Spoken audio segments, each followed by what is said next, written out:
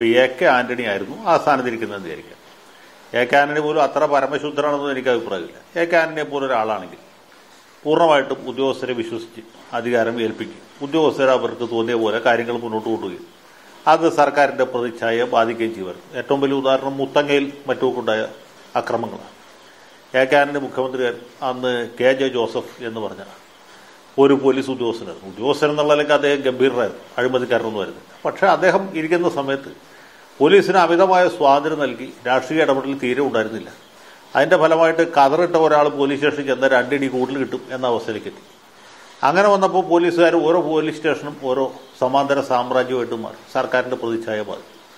അങ്ങനത്തെ ഒരാളല്ലല്ലോ പിണറായി വിജയൻ. അദ്ദേഹം ഈ പാർട്ടിയിൽ യോഗ്യന്മാരായ ആളുകൾ ആരും ഇല്ലാത്തതുകൊണ്ടുമല്ല.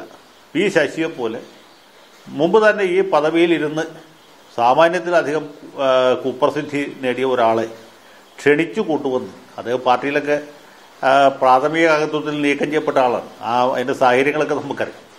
അങ്ങനെ ഒരാളെ എഴുന്നള്ളിച്ച് കൊണ്ടുവന്ന് പൊളിറ്റിക്കൽ സെക്രട്ടറി എന്ന് പറഞ്ഞ പ്രധാനപ്പെട്ട ഒരു തസ്തികയിലെത്തി ആഭ്യന്തര വകുപ്പ് പൂർണമായിട്ട് അദ്ദേഹത്തിന് തീർന്നെഴുതി കൊടുത്തിരിക്കും അതുമാത്രവുമല്ല സംസ്ഥാന പോലീസ് മേധാവിയായിട്ടിരിക്കുന്നത് ദർവേഷ് സാഹിബാണ്. സാഹിബിന് പ്രത്യേകിച്ച് യാതൊരു അധികാരവുമില്ല വേറൊരു ഉത്തരവാദിത്വമില്ല അദ്ദേഹത്തെ നോക്കുകൂത്തിയാക്കിക്കൊണ്ട് പൂർണമായ അധികാരം A D G P Ajith കുമാറിന് കൊടുക്കും അജിത് കുമാറിന്റെ പ്രവൃത്തികളെക്കുറിച്ച് പെരുമാറ്റത്തെക്കുറിച്ച് പല വിധത്തിലുള്ള ആക്ഷേപങ്ങളുണ്ടാവും.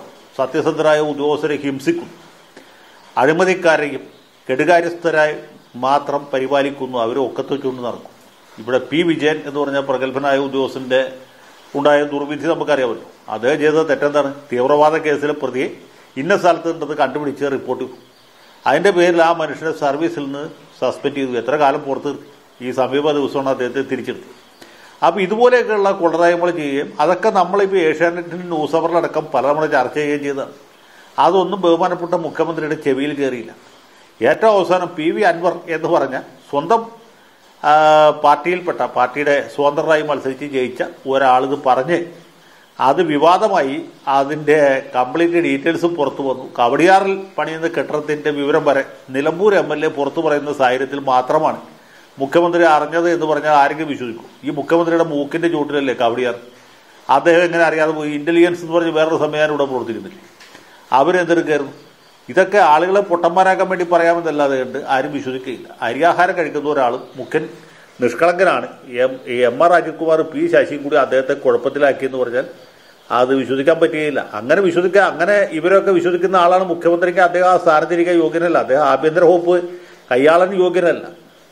ഇവിടെ സംഭവിച്ചതെന്ന് വെച്ചാൽ ഏറ്റവും മോശക്കാരനായ ഒരാൾ ഏറ്റവും പ്രധാനപ്പെട്ട സ്ഥാനത്തിരിക്കും. താക്കോൽ സ്ഥാനങ്ങളിൽ മുഴുവനും അഴിമതിക്കാരായ ഉദ്യോഗസ്ഥന്മാരെ മാത്രം നിയമിച്ചു.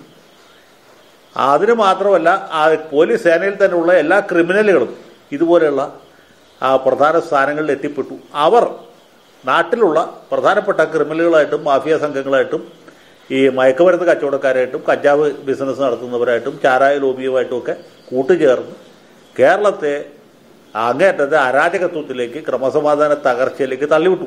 അതാണ് ഇവിടെ സംഭവിച്ചിട്ടുള്ളത്.